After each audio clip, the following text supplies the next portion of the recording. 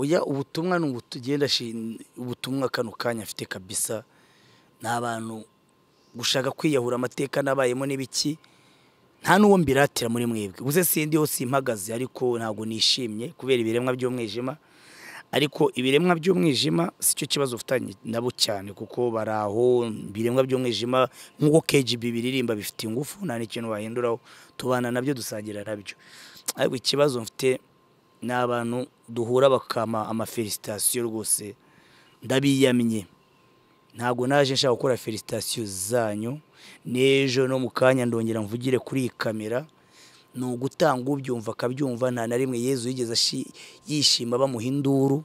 Mufite abayobozi banyu mwitoreye mufite ba rwiyemezamirimo babahemba bakora ibintu byinshi mufite abaganga abapasiteri banyu nta n'umwe nari numva muha induru nk'izo muma murampera ik'induru murumva nta kintu nkora kidasanzwe.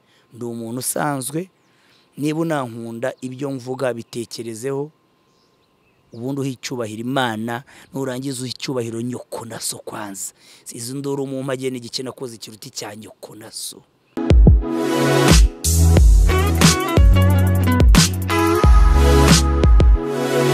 baduteye mu ndimi nyinshi ntabwo nzi kubivuga neza ariko ni akantu kavuzwe n'umuntu bashobora no kujya kuri ah, facebook zanye nuko zuzuye hari ahantu ah, ndumva nagashyizeho. Baravuga ngo royaume de malhonnête les hommes intègres sont, considérés comme des fous. Bavuga ngo mu ahantu mu ngoma z'abanyakinyoma abantu bazima nibo bafatwa nk'abasazi.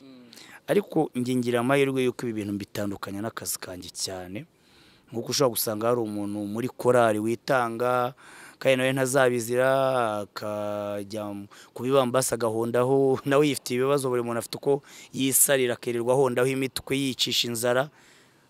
N'ibyo ntabwo bikwiriye ariko yagera mu ishuri akigisha ibyo ntabwo bazabimubaza. Njye rero ntabwo njya nigisha ibi mu ishuri nta n'uwambaza ibi nta n'umunyeshuri ushobora kungisha inama muri ibi. Ibi mbigira abagomba kubyumva kandi barabizi. Naho umunyeshuri yambajije ngo numvise ibi ngibi ndamubwira nti ntawe n'ubimbaza bo barubaha. Ngo abantu banserereza barimo ibice bibiri hari igice cy'abantu bantu basuzuguritse bafite imyumvire yo hasi abamotari nyine bariya bashungera sinzi niba wabona ahantu habaye agisida buriya mu bihugu byateye imbere ibyo ntabwo bibaho. Ahantu umuntu arwanye n'undi benshi baba ari n'imburamukuru murumva ni abantu ubona bategereza. Sinari nabibona agiye burayi kabisa. No mu mafilime ntabwo ushobora kubona umuntu n'umuntu aguye baramureka hari serivisi zigomba kumutwara.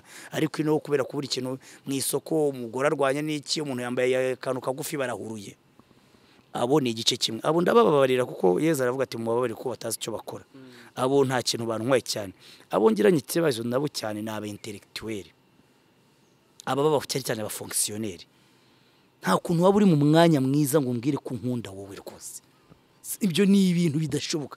None rero windyarya niba umbonye nk'ubwiza ukuri ziba uba umena umutwe sinkwimye ijambo ijambo ntaryo ntanga hano. Ariko mu matwi yanjye wiza ngo umbwire uburofa. Nicyo cyonyine njye mvuga. Umuntu araza akagutetaho njye mbyita guteta kuza kugutitaho namerewe neza dore nageze mu bisubizo wowe uri igisazi turakwemera. Niba munyemera nawe fata kamera ujya kuvuga. Unyemera unyemera mwikise uretse ko bamwe muri mwebwe icyo mbakundira ibintu byino ni ibintu biryoha uko ubibona uyu munsi haca icyumweru ugasanga na wa wundi yagiye bigenda bibirinduka bibirinduka ukabona ya ariko ntihagagire. Simvuga ko niba harimo n'abankunda njye ntabwo ndi sindi umusenateri ejo bundi baziyamamaza. Ntabwo ushaka amajwi ngo mu nkundi sindi umuhanzi ngo ndi umuhanzi ariko sindi wundi ujya muri guma guma nta mpuhwe zanyu nkeneye. Abamfashije kandi n'ubu bamfasha ibi ntabwo bizabaca intege aho mwebwe. Nta kintu kizima mbatezeho. Nta n'icyo nzabasaba. Ah, mu minsi ishize igera muri itatu ine gutyo hano mu kigo muri kisite hari amakuru yasohotse avuga ko hari umukobwa wapfiriyemo. Ah, ubusanzwe eh, iyo nkuru weho uyizi ute wayumvishije ute? Bo iyo nkuru yo ntago nta bintu mbizi yongera ngo inzego z'iperereza buriya nizo zibizi. Ariko icyo nabonye gihe naje mu kazi ndi umuntu uzinduka cyane. Rero abantu bibaza ngo ese uyu muntu aganira yo urabona ndi ku kazi ndi muri pose njye nta hantu njya njya mba nateyemo igikumwe ndaza mbona abasekirite bari kubuza aba- abanyeshuri gusohoka kuva mu kigo ku buryo bikunda kuba nimugoroba rero iyo habaye amanama. Ndavuga inama yabereye ko kugira ngo njye nyigemo numva ibyo bari kuvuga bati nta nama. Bati tubuze umuntu wacu. Mm, ese byagenze gute? Bati umunyeshuri yapfuye. Ubwo rero iperereza niryo ribishinzwe ariko njye uko mbibona ukuri kwanjye ni uko ni ibintu bidasobanutse ukuntu umuntu ikigo nk'iki gifite inzego z'umutekano zigikikije kidafite ahantu wasimbukira babona umurambo w'umuntu uryamye. Niko babitubwiye keretse niba ari ibinyoma. Vuga ngo ah, ikintu gishobora no kubaho ahubwo abantu bavuga ngo barege igihe numva uwo mwana yari ari kwiga yigaga mu wa mbere niba atari biyoroje n'ishima umwana iwabo bamuhereje kwiga. Umwana acumbikiwe mu kigo. Umwana arapfuye. Igihe ndumva ikigo kigomba gusobanura ibye. Ikindi ubwo turategereje ariko jyewe maze kugenda ngira ikibazo cy'abantu bumva ngo bapfuye ariko ukumva ah, babyita amatohoza n'amatohoza investigation ni iperereza amaperereza agafata igihe. Burya iyo wishwe n'abaswa ntabwo amaperereza ashobora gufata umunsi umwe cyangwa ibiri. Uribuka hari umuntu wigeze kwica umwana hariya ni i nyamirambo yaciye igiharurira ajya mu giti eh, cya tapi ruje umuntu abantu iyo bishe ubona bariya badamu hari bo ku gisozi cyangwa kinyinya ntabwo bifata umunsi umwe umunsi umwe urahagije. Bivuga ngo twizere yuko wenda babafashe cyangwa ejo bazabafata ariko nibirenga biraba ari abantu b'abahanga babifitiye amahugurwa si ubwa mbere si ubwa ntibizaba n'ubwa nyuma uzumva abantu bapfuye kabisa.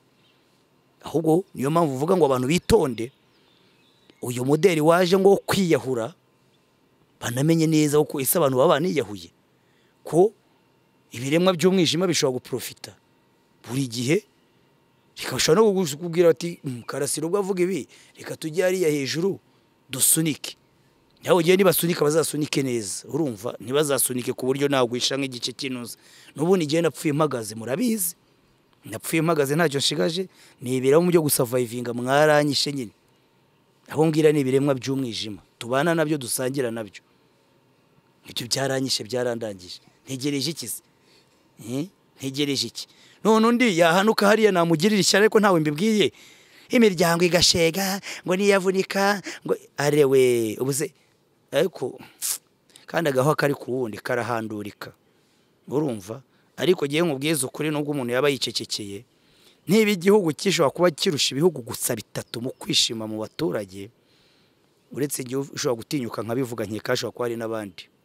Gusa nawe mbwiye ngo yiyahure tu. Nimubeho nyine mushinyirize. Ihe nimushinyirize. Nuko bimeze. Ya nuko iyo nkuru nuko twayumvise ariko nagerageje kubaza abanyeshuri ngerageza kunyura mu bantu bashinzwe umutekano hano. Cyane nabonye nta kintu bibabwiye. Ni ukuvuga ngo ubundi iyo ahantu hapfuye umuntu usanga bakubise bya bintu byo no kwinjira aho hantu. Mbega ubona ari ikintu gikabije? Ubundi gupfa k'umuntu uwo ari we wese buriya ngewe rwose nanjye numva ari ikibazo? Numva ari ikibazo. None se? Mhm. ni ni impamvu ki ushobora kumva yuko uwo muntu ashobora kuba yapfa mu buryo budashobora gukorwaho iperereza ngo bitange umusaruro kandi ari umunyeshuri usanzwe. Hari igikorwa kindi gishobora gutuma gishobora guhura n'urupfu rwe? Oya oya oya ntabwo navuze ko nta perereza ryabaye. Iperereza ubwo ririmo ababishinzwe nta nubwo nkorana n'inzego z'iperereza babirimo. Ariko nuko nagerageje kugenda nsoma mu makuru numva ngo barakeka ah, umuntu wapfuye akapfa aguye bigaragara bamwe bavuga ko yari afite inguma ko ashobora kuba yarishwe akagwa muri kaminuza. Kaminuza ntabwo ari ahantu hose si mu kibuga cy'umupira nabwo kidafunze ni ahantu harinzwe ngira ngo inze imiryango yose irafunze. Kwinjiramo baradusaka. Bafite na bya byuma bagenda bakozaho umuntu. Buri modoka barayisaka. Nta kintu kibwamo. Ahubwo njya mbabaza nti ibintu musaka ko imyaka ibiri itatu hari ikintu mwaye mwafata? Benshi bagiye bambwira ko ngo buriya biba ari umuhango nta kintu na kimwe bari bafata buriya biberaho kuriya gusa. Nicyo cyantangaje ariko niba ari umurambo bavanye ahandi gusa uriya mwana wazwi hano. Njyewe nkavuga nti ku giti cyanjye ntabwo njye nihutisha iperereza ariko nkeka nkeka rizagira nkeka byagakwiriye kwihuta. Urumva icyo nshaka kuvuga? Iyo abishi ari abahanga iperereza riratinda ni ku isi hose. Na n'ubu nta muntu uzi uwishe kennedy wari perezida kennedy. Nkurumva nta muntu uzi uwishe tupac amarusha kuru Mm, nta muntu uzi uwishe peter toshe niba nibuka neza. Ngubwo rero ubuhamya nakubwira ariko nkubwira yuko iyo nkuru yarambabaje nifatanya n'uriya muryango w'uriya mwana ariko nsaba n'ikigo yuko niba hari amategeko abigenga uwo mwana. Niba afite ubwishingizi ko uwo mwana ntiyaguye mu rugo iwabo nyuma yo kubona iperereza ibyo ari byo byose uwo mwana ari mu gushyingurwa ari iki? Yafashwa agafashwa n'abari bamucumbikiye ari bo babyeyi be bari kaminuza icyo gihe. Mm. sinzi niba bari bamucumbikiye ariko yigaga hano. Niba yaracumbitse ahandi akaza umurambo we bakawujugunya hariya niba baramwiciye hano nta yandi makuru mfite. Ya, hanyuma ibiganiro byawe biratangira gutambuka ryari kuri YouTube yawe? E, kimwe ejo kizanyuraho Ah, kimwe numva ejo kizanyuraho ni ikiganiro Ah, mu by'ukuri ni karasira aimable Ah, ni ho bakirika bya bintu navuze banayikundisha abandi bakoresha ya bayikundisha abandi. Ibiganiro byo nta nubwo nigenga hari gurupe ya, whatsapp niyo irimo abantu bangira inama. Ibiganiro nk'ubu dushobora kuzakora mu minsi iri imbere ku bukwe dushobora gukora ku burere atari uburezi. Uburere kera umwana uswa munyuzagaho akanyafu n'iki. Bete bibi rimwe na rimwe umuntu abivuga ntabwo iteka nzahora mvuga ibintu wenda bikanganye cyangwa bibabaje. Nk'ubu mba mbabajwe nk'umuntu nk'ukuntu nk'abantu rusange ushobora kubashyira mu mutwe ukababeshya ikintu bita kwiyahura. Wenda kitari na cyiza koko nubwo itegeko ritakibuza ariko nkabona nta n'umuntu n'umwe wigeze asobanura ibintu bitera kwiyahura. Abajyanama b'ubuzima ntibabivuge niyo mpamvu mwakumva mvuga gutya. Kabona umuntu arihandagaje ngo yutube cano ziracuruza afashe karasira mukubise hariya ngo ni we wateye ibibazo. Umuryango wateye ibibazo umwana ari umuryango diregita ari iki? Ntawe uri kubyiga. Nkakwereka ukuntu mu bihugu bimwe na bimwe bitishimye turimo. Ntawe ubivuga ngo abaze abantu icyo yakora ngo bishime. Urumva ariko ntabwo tuzahora muri ibyo. Ikiganiro cya mbere ejo numva nzagishyiraho buri munsi hazajya hanyuraho ikiganiro. Kidafite iminota nk'iyi ngiyi ni iminota icumi myinshi ni icumi. Kivuga ku buzima busanzwe kandi nkaba nshishikariza n'umuntu uzajya ugira ikibazo ari ibyo by'akarengane nk'ubu hari umuntu ejo wari utangiye kumbwira ibintu bya bya mitiweli kutabura mitiweli umurambo we bakawugumana ariko byaracitse. Ngo azajya ambwira numve uko ibintu bimeze. Dushaka ibimenyetso nyabimenyetso. Ko nanone nta gukwiza ibihuha tunagira inama abantu n'abadashaka yuko amazina yabo amenyekana ikintu umuntu azajya akora. Tuzajya tuvuga ibibazo uko biri. Si ngombwa kuvuga ngo ni kanaka ni kanaka kuko nta kibazo nkekerega nta kibazo mu rwanda kitari cyahaba. Kuvuga ko ikintu cyabaye ntabwo uciye nk'amabere. Ko ibintu twabonye ni byinshi sinzi ko hari ikintu cyaba cyarabaye ku isi tutabonye hano.